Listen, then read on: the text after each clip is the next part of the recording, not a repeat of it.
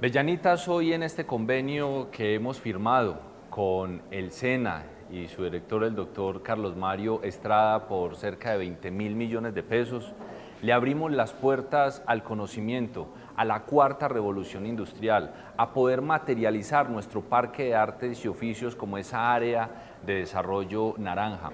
Allí tendremos los mejores ambientes de aprendizaje, que estarán listos para recibir a los más de 4.000 jóvenes que año tras año están arrojando las instituciones educativas como bachilleres.